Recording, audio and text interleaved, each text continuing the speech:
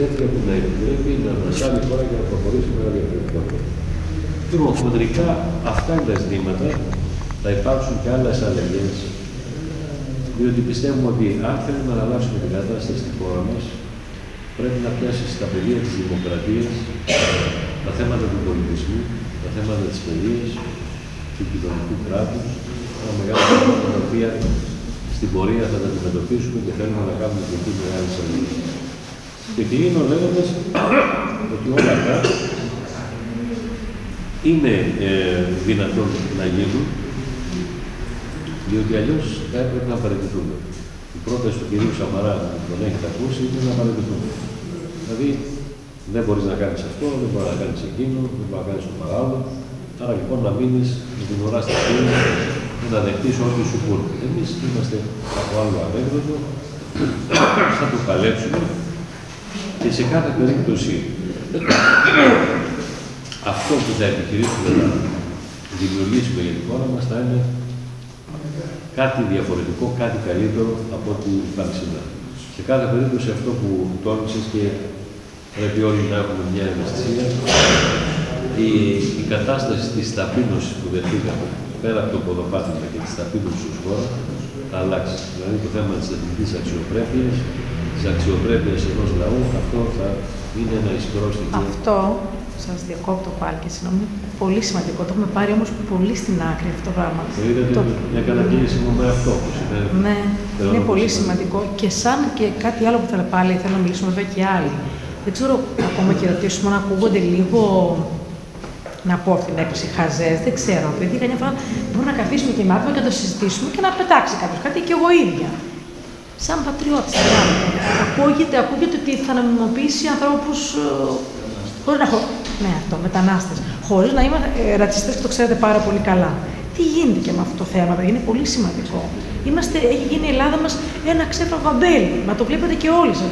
Τι θα γίνει αυτή η κατάσταση; Πού είναι η Ελλάδα μας, που, που παλέψανε οι, οι Έλληνες για τον τόπο, για να είμαστε τώρα εμείς ελεύθεροι, να μπορούμε να μιλήσουμε, να μην φοβόμαστε. Και τώρα αρχίζουμε πάλι και θα πω συγκεκριμένα ότι κάποια μέρα, όπως έκανα ζάπινγκ, άκουσα από κάποιον, ναι, είμαστε λέει φυλακισμένοι.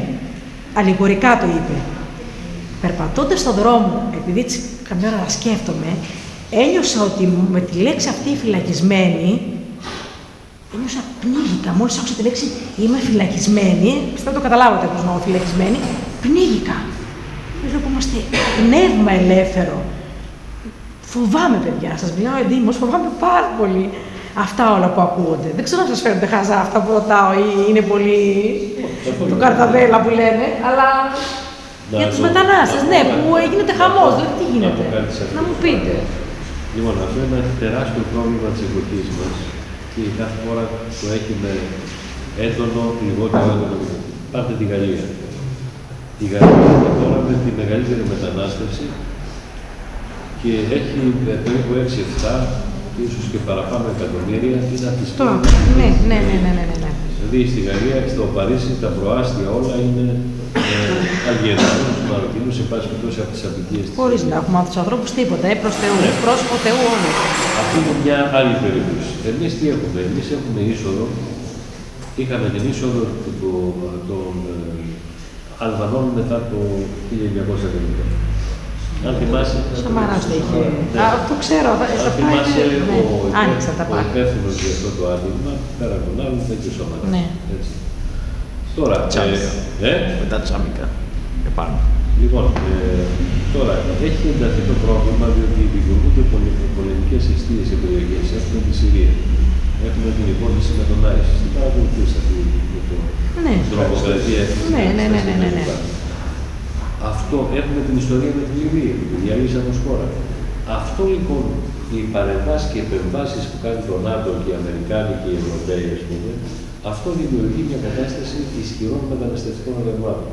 Και πού πάνε, πάνε στις χώρες που είναι στην άκρη, δηλαδή η Ιταλία και η Ισπανία και η Ελλάδα. Και τι, τι λένε, ε, έχουν βγάλει ένα νόμο το Δουβλίνο 2, ο οποίος τι λέει, ότι αν κάποιος μετανάστης έρθει στη χώρα σου και του δώσεις άσυλο, θα πρέπει για πέντε χρόνια να μείνει σε αυτή τη χώρα. Ναι, ναι. Λοιπόν, και το ψήφισε. Το ψήφισε Είπατε; Μπορεί να μην θέλει να μείνει εδώ, θέλει να πάει αλλού. θα, θα γυρίσω εκεί. Ψήφισαν αυτοί. Το ψήφισε λοιπόν η ελληνική κυβέρνηση Για να πάρει την που στην ουσία που οδήγησε, οδήγησε απελπισμένους ανθρώπους οι οποίοι έρχονται με κάθε μέσο, Ε, βέβαια. με κάθε μέσο, ό,τι και να κάνουμε για να είμαστε τώρα συγκεκριμένοι. Δεν μπορείς να περιφρουρήσεις τα σύνορα τη θαλάσσια. Είναι βεβαίως, ναι, ναι, ναι, σωστό. Θα έχεις, ε, ε, εκτός αν πάμε, και αυτό είναι η γενική πρόταση, να υπάρχει ισχυρή μεταβίβαση πόρων στα μάτια των πολεμικών παρεμβάσεων για να ενισχυθούν αυτές τι περιοχές και να πε- παραμείνει ο κόσμος στον τόπο του. Αυτό είναι το γενικό σενάριο το οποίο θα κάνει το δυναμικό. Όσο λοιπόν υπάρχουν αυτές οι καταστάσεις, θα υπάρχουν άνθρωποι απελπισμένοι που θα έρθουν. Την Ευρώπη τη βλέπουν ως Από κούμπι, έτσι, πάρα, να- ως πάρα. Δεν είναι τόσο η Ελλάδα και πέρασε. Άρα λοιπόν το κύριο ζήτημα που έχουμε εμείς να κάνουμε είναι πρώτα απ' όλα να, φερό- να φερόμαστε ανθρώπινα έτσι, Το- σε τη αυτόν τον κόσμο. συζήτηση. Ε, Πιστεύω βάσει- καταλάβατε και, συγγνώμη, πάλι Ναι. πώς, πώς το είπα. Ναι, ναι, όχι καταλαβαίνω, δεν το παρεξήγησε καθόλου. Λέω, το πρώτο είναι να φέρεις σε αυτούς τους ανθρώπους όπως πρέπει, με ανθρωπιά. Ε, δεύτερο ζήτημα είναι να τους δώσει το δικαίωμα εφόσον επιλέγουν οι ίδιοι να πάνε σε άλλη χώρα. Άρα λοιπόν πρέπει να τους δώσει χαρτιά.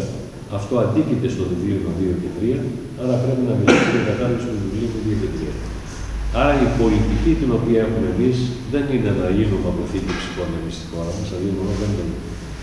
Εμείς λέμε να υπάρξει με, με ανθρώπινο τρόπο η αντιμετώπιση αυτών, αυτών των ανθρώπων που έρχονται και ταυτόχρονα τους δώσεις τα δικαιώματα να μπορέσουν να, μετα, να ε, πάνε σε άλλες χώρες. Γιατί εκεί θέλουν να πάνε.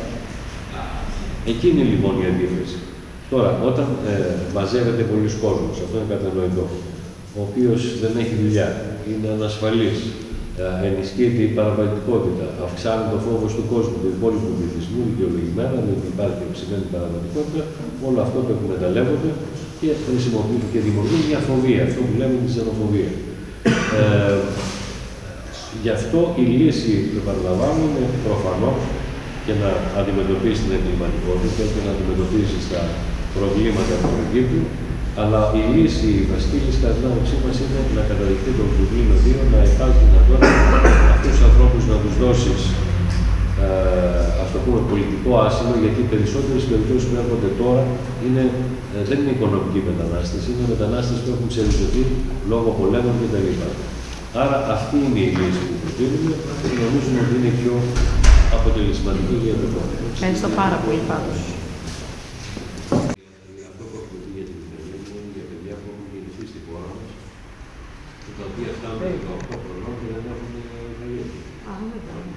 Λοιπόν, άρα ε, νομίζω ότι δεν μιλάμε κάτι καινούργιο έτσι, γιατί πολλές φορές Παγκοσμίω, όπου γεννιέται κάποιο, εκεί είναι. Ε, είναι, αυτό, είναι, ναι, ε, το πράγμα πώς είναι το λένε, κατανοητό. είναι, ας το πούμε με βάση τις αρχές του, του ευρωπαϊκού δικαίου. Δεν έχουμε κάτι διαφορετικό. Και το ευρωπαϊκό δίκαιο σου λέει ότι πρέπει να προβλέψεις αυτό το πράγμα. Το οποίο είναι το πρόβλημα, όπως Άρα λοιπόν τα θέματα και δημοκρατίας και δικαίου τα οποία αυτά υποστηρίζουν. Αν ε, μιας και είστε- Κάνα σιγαράκι μπορούμε να κάνουμε. ε;